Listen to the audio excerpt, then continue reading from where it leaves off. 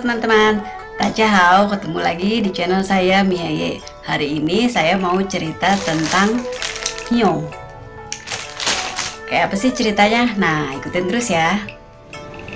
Teman-teman, karena ini ceritanya tentang Hyo dan kebetulan saya juga lagi mau ke Kelenteng, jadi kita ceritanya di dalam aja ya. Nah, sekarang kita udah nyampe. Coba, yuk masuk.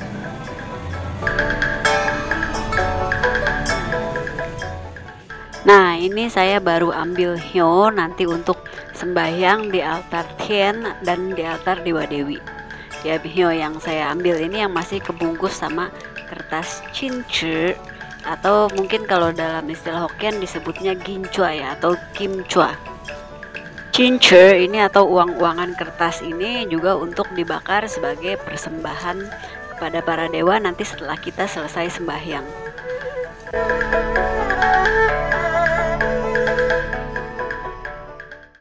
Sejarah Hyo atau dupa di China dapat ditarik ke masa 4000 tahun yang lalu. Oh, lama banget kan? Kala itu, para nenek moyang menemukan beberapa tanaman yang memiliki aroma yang sangat harum. Tanaman tersebut akhirnya dibuat ramuan yang kemudian digunakan dalam berbagai kegiatan perayaan maupun untuk tujuan keagamaan. Ketika digunakan untuk bersembahyang, tujuannya tidak lain adalah ingin mempersembahkan sesuatu yang harum atau sesuatu yang dinilai berharga kepada Yang Maha Tinggi. Karena bernilai tinggi itulah keluarga kerajaan dan para bangsawan suka membakar wewangian ini untuk menunjukkan identitas mereka.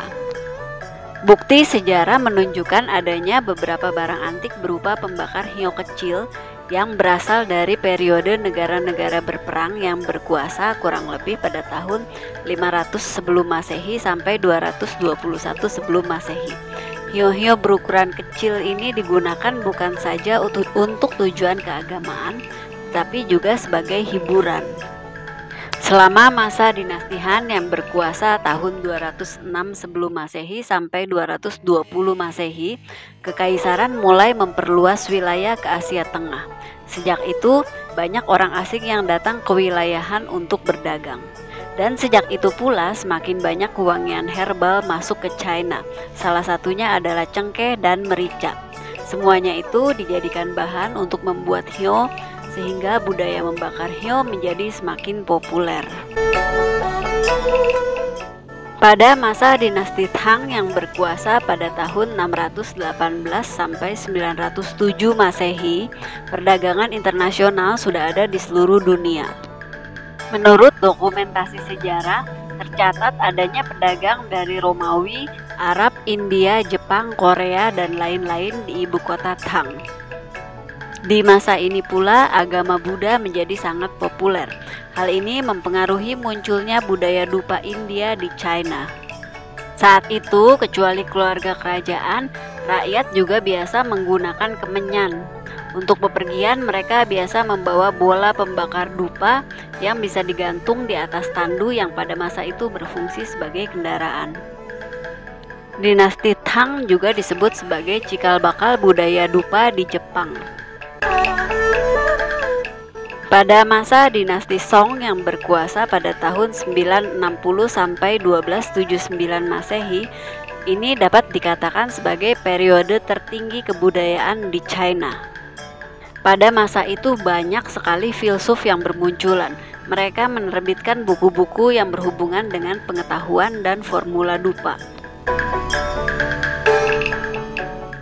Pada masa dinasti Ming yang berkuasa pada tahun 1368 sampai 1644 Masehi, perdagangan rempah-rempah menjadi semakin banyak lagi.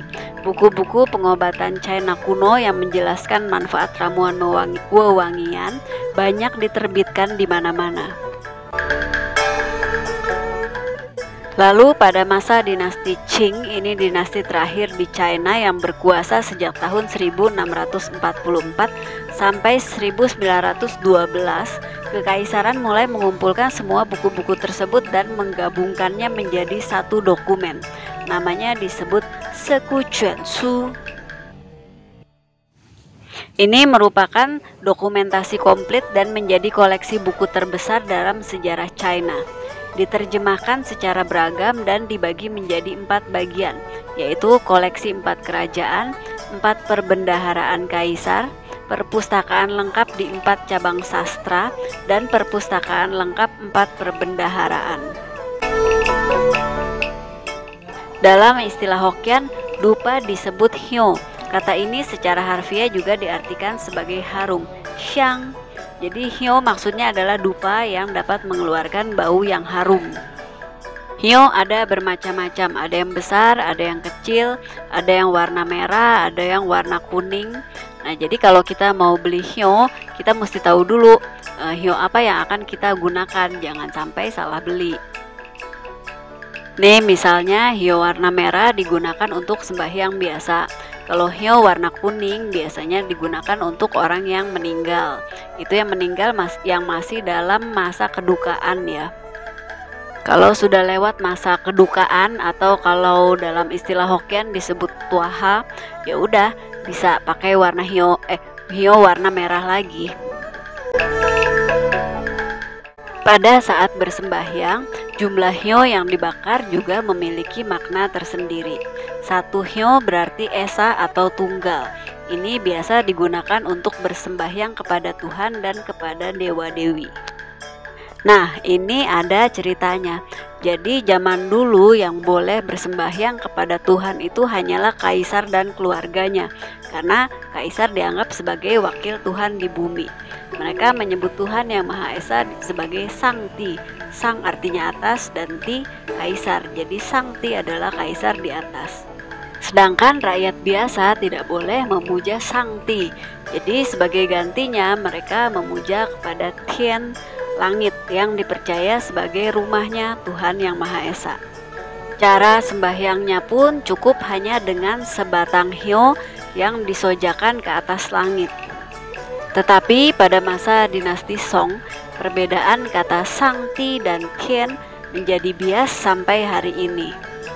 Maka jangan heran kalau di kelenteng-kelenteng altar sembahyang kepada Tuhan Yang Maha Esa sering kali disebut dengan Tikong atau dalam dialek Mandarin disebut Tien Kung. Dan hio yang ditancapkan di sini juga bisa satu atau biasanya tiga. Kalau tiga itu merupakan penggambaran dari tiga unsur alam semesta, yaitu langit, bumi, dan manusia.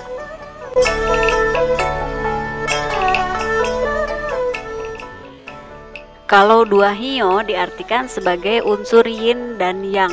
Ini dua unsur yang saling bertolak belakang yang pasti ada di dunia ini. Misalnya positif dan negatif, laki-laki dan perempuan, tua dan muda atau contoh-contoh lainnya yang memang saling bertolak belakang. Bertolak belakang di sini tentunya bukan dalam arti yang negatif, tetapi maksudnya untuk saling mengisi dan saling melengkapi.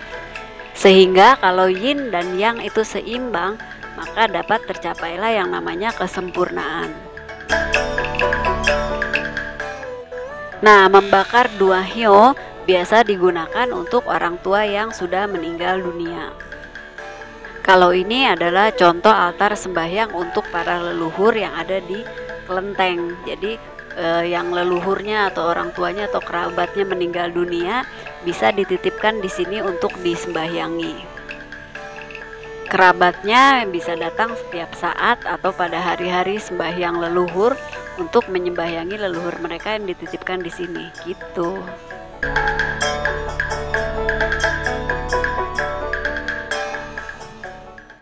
Nah, ini contoh hio yang tadi saya bilang biasa digunakan untuk masa kedukaan atau bila salah satu kerabat atau orang tua kita meninggal dunia.